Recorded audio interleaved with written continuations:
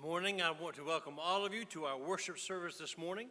If you are joining us by way of internet, as I'm sure you are, uh, we want to make you especially welcome.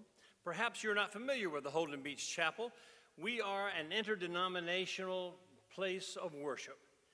Our history has been that we embrace all of the Christian uh, communities of faith. And normally, we have a different minister each week from different denominations who comes and speaks. Of course, the last few weeks it's been difficult, but we're trying to do the best we can with that. So I want you to know that uh, we will continue, and hopefully, very soon, we're going to be back in this beautiful sanctuary as we come together uh, once again for the communion of the saints. Everyone knows ministers around the world have for a long time lamented the fact that the Sunday after Easter is always, almost always, low attendance Sunday. Well, through no fault of your own, let me tell you, this year on low attendance Sunday, you have outdone yourself. You have done an exceedingly outstanding job in low attendance Sunday, but actually we are together. We're just not together in one place, but hopefully that will change soon. It's always wonderful to welcome you. And I pray that you will experience the presence of the Lord in your own life this day. And now, may we go to the Lord in prayer. Father, we thank you for your goodness, for your grace, for your mercy. Our souls, nearly overwhelmed by the circumstances of life, often seem fragile or broken. Today, there are many of us who feel that we are at our wits' end. But today, Lord, we also claim your promise. As we cry out to you, please hear our pleas, we are assured that you do and that you answer us. You bring us out of our distresses and stand with us on solid ground. We rejoice that while the storms of life around us are raging, there is within also a calming peace that passes all of our understanding.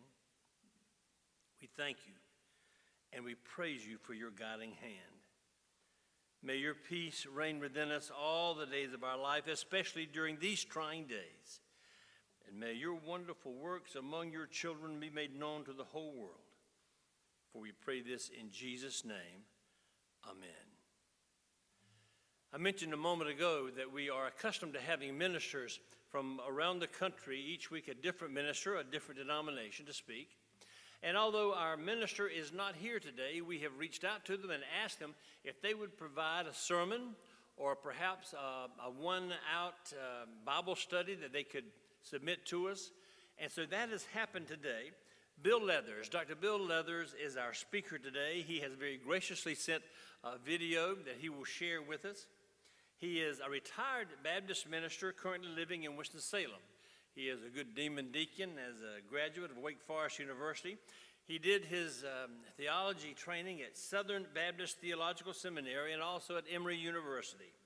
He has served as a pastor in Appling, Georgia, and also as the senior pastor at the First Baptist Church of Rockingham and the First Baptist Church of Hickory, North Carolina. Since his retirement, he has served as the interim pastor of five congregations. He and his wife, Crystal, have two children and three grandchildren. Today, we welcome, for your listening, the Reverend Dr. Bill Leathers.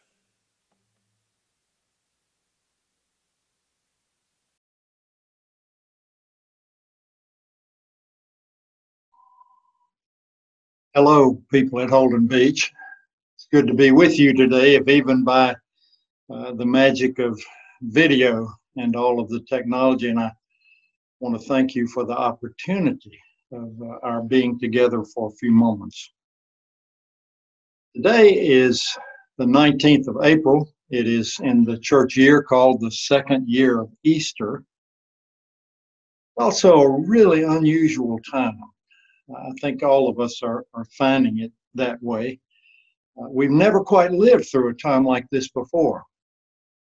The virus, having to shelter in place, changing plans. Uh, after all, Crystal and I had hoped to be with you at the beach this week.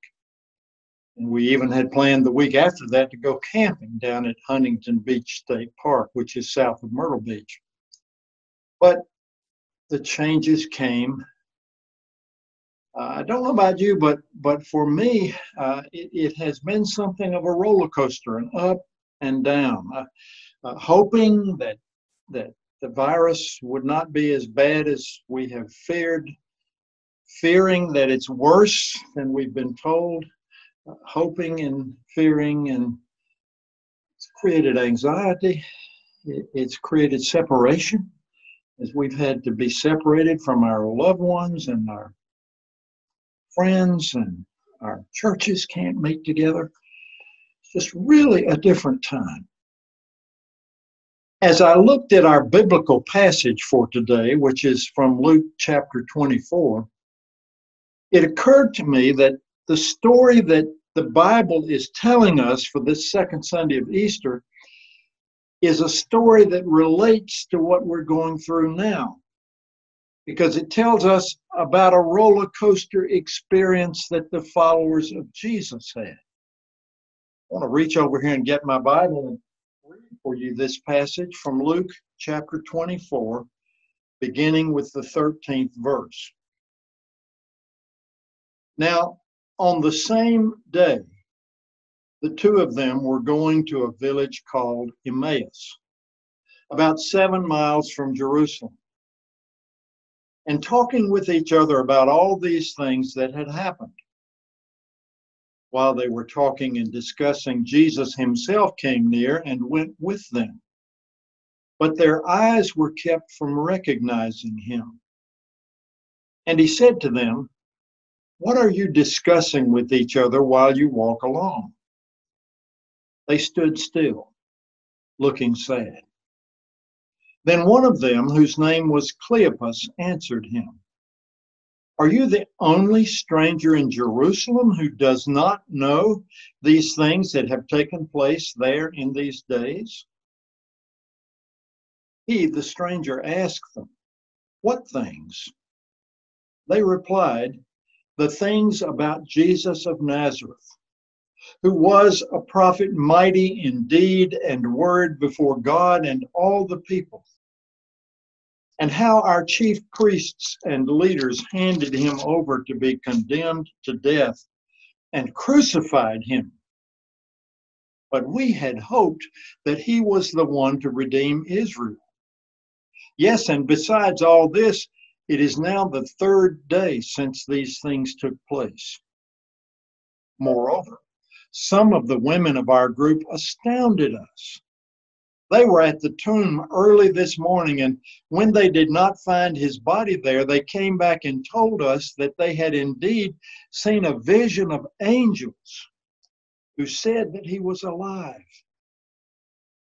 Some of those who were with us went to the tomb and found it just as the women had said, but they did not see him.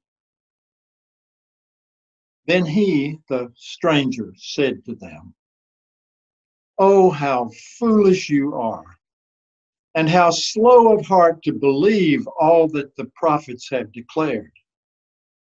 Was it not necessary that the Messiah should suffer these things and enter into his glory then?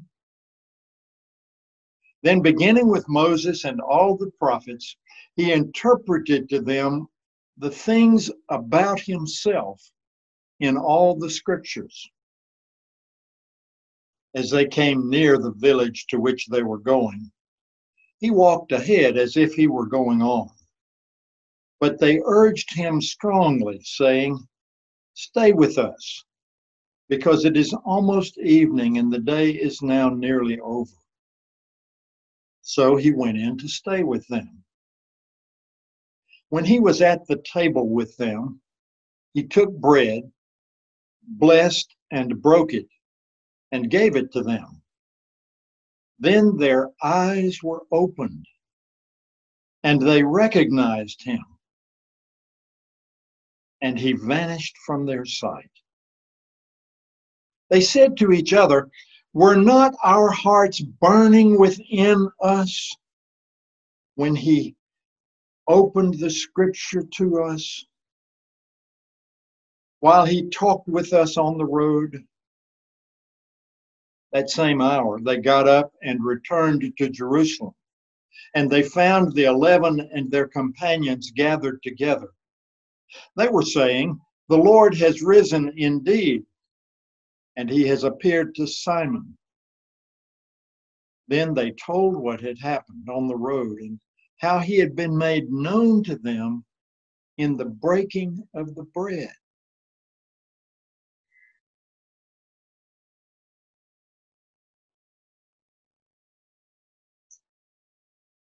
Just like today is a roller coaster for us. This day, when these two men were walking the seven miles from Jerusalem to Emmaus, must have been a roller coaster for them. And it had all it had all happened in the last two or three days. As they were walking along, deep in conversation, they were joined by a, a stranger, a person they did not recognize. He noticed that they were talking about serious things and, and he wanted to know what, what it was they were saying. And so he asked them, What are you talking about? They must have looked at him as I would look at someone who would come up to me today and say, What's all this talk about a coronavirus? I haven't heard anything about it. Can, can you tell me about it? They looked at him and said, Are you the only person in Jerusalem who, who hasn't heard what's been happening with, with Jesus? Tell me, he said.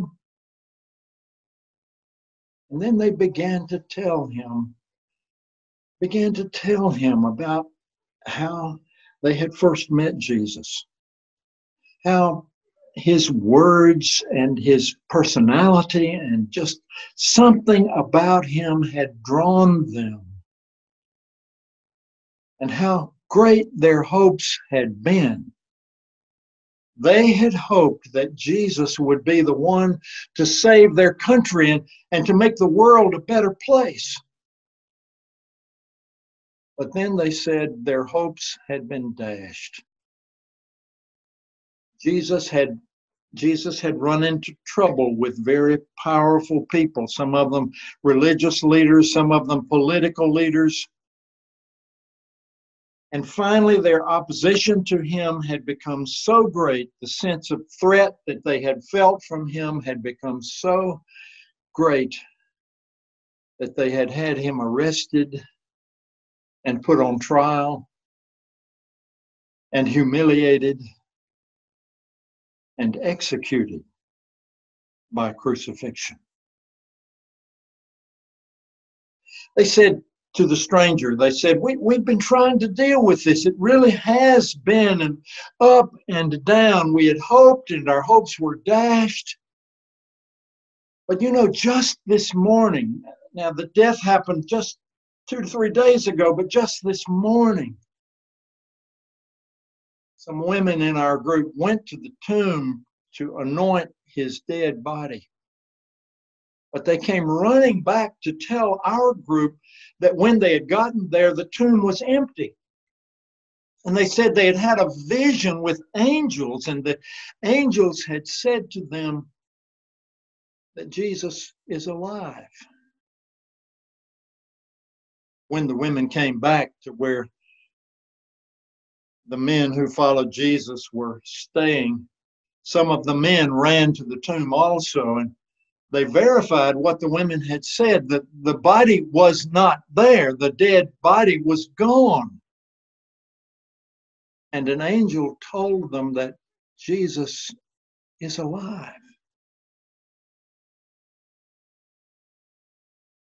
They were walking along, stranger listening as these two men poured out their hearts as they shared with him the the ups and downs that they had been going through, the hopes and the disappointments, the anxiety, and all of those things that we are experiencing now.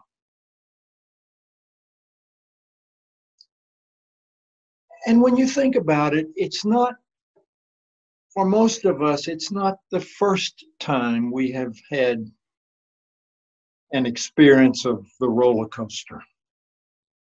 It certainly is happening now. The, the virus is real. The threat is real. The fear is real. But perhaps, like me, you can remember other times. It might have been something happening in our work. It might have been a painful experience in our family. It might have been the loss of a loved one. Might have been some threat that was perceived in our town or in our country. We've had other times of ups and downs. Times, times when we are not sure what's happening around us, not sure what the future is going to hold for us.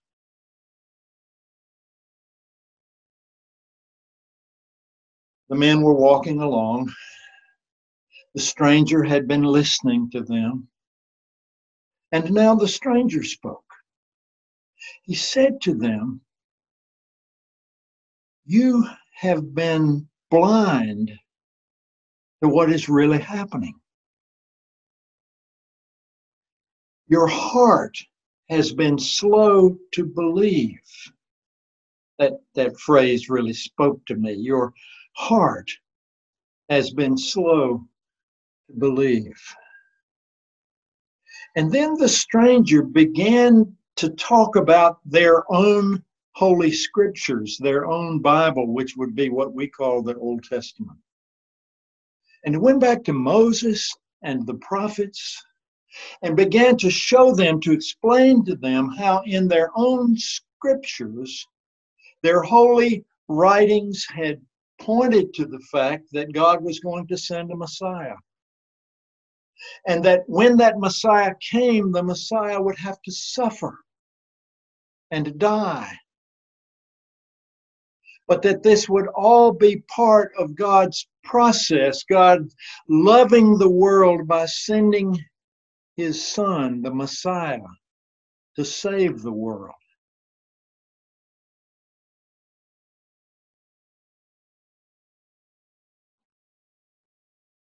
The stranger was giving these two men an opportunity to reinterpret what they were seeing and what they were experiencing. And I think this story is trying to give that to us also. They were coming close to the village of Emmaus. Night was falling, it was getting dark. The stranger acted as if he were going to walk on.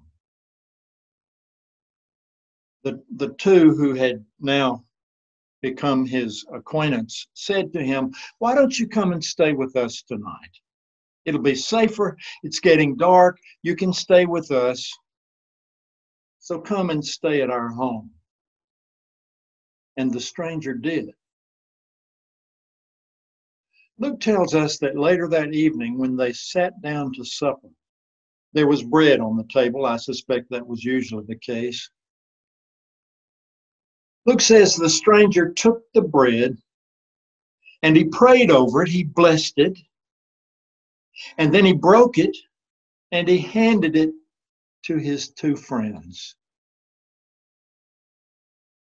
And at that moment, they recognized who he was. It was Jesus. The whole time, it had been Jesus. And suddenly, suddenly, they were able to reinterpret what they were seeing. This story invites us today to reinterpret what we are seeing. In the early days of our full awareness of the coronavirus, when we were being told that the following Sunday we could not, should not worship together, when we were being told to shelter in place and all of the precautions that we ought to take when we were being told that probably we should not see our adult children or our grandchildren, that we should change any travel plans, all of those things. My anxiety was growing. And I sensed it in the people around me and the people in my neighborhood here in Winston-Salem, in my friends and in my church. What was this going to mean for us? Would it would it be as we hoped a process that would allow us to get back to normal in a month or two? Or would it be as we feared something that would take a year or more and touch many, many lives in a hurtful way?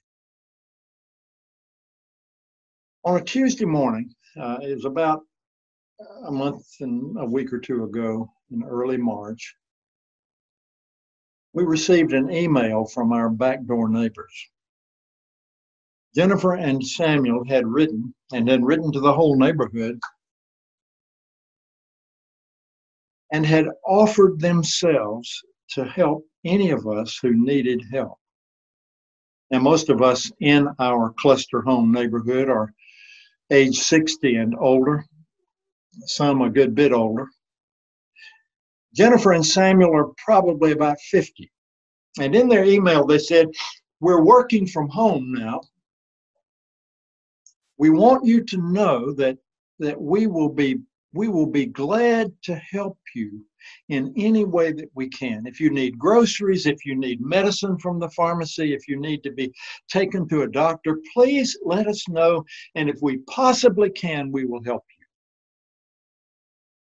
All of us are in this together, they said. And we want you to know that we are here you know, in a sense, that was a small thing. It was just an email, it was an offer. But for me, it was a big thing. And it began to help me reinterpret what I was seeing. As it happened, I'd also been reading an article in the Christian Century, which is a journal that I get and the writer had been saying that so often those of us who are people of faith look to other times to find examples of when things were good for us spiritually. We look back to the Reformation or some other time to, to find examples of when uh, things were going well for God's people. And the writer said, when we do that, we, we often may miss the fact that God that God is present with us today just as much as he was in some other day.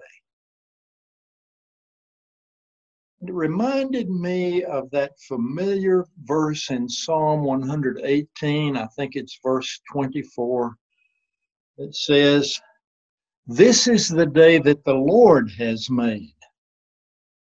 Let us rejoice and be glad in it. And it suddenly dawned on me. It suddenly dawned on me, on my heart, that sometimes is so slow to believe that this day, coronavirus and all, just like any day, is the Lord's day. And in some way, with His help, we are called to rejoice and be glad in it and to express that joy, to express that joy by loving others the way God has loved us.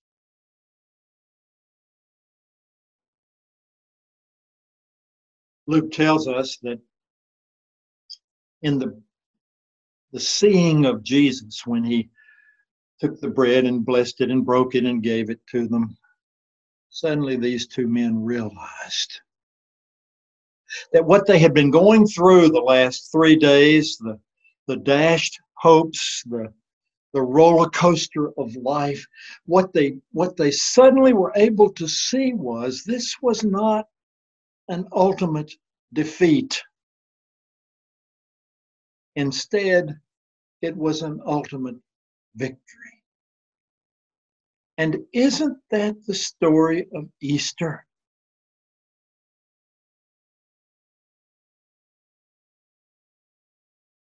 That Christ is alive. And because he is alive, we live. We are people of hope. And we, we decide what we do based on what God has taught us through Christ.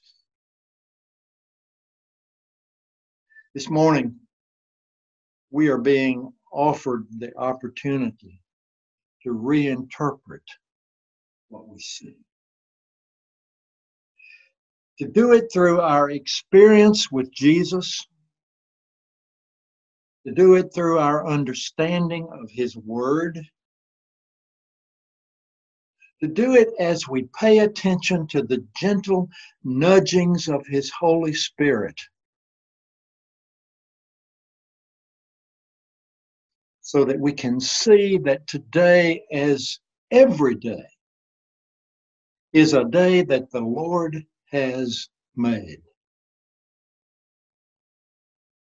And every day that comes will be a day that the Lord has made. I'm not sure everything that that will mean for me. Certainly, not, I don't know what it will mean for you, but I think it will mean as I look at my life, I will look for the places that God is at work and that the, the Spirit of God is nudging me toward. And in some way, I will try to be involved there in ways that are appropriate to the ways that we're being asked to shelter right now. It, may mean that there's some personal thing that I need to pay attention to, some relationship that needs tending, some dream that needs following, some prayer that needs praying, some gift that needs giving, some act of forgiveness that needs to be offered, some word of encouragement that needs to be said. Because this is the day that the Lord has made and I will rejoice and be glad. May God bless you. May God use us to bless the world in this roller coaster time as we live out the Easter truth that this is the day the Lord has made and I will rejoice and be glad that we serve a risen Savior. He lives. Amen.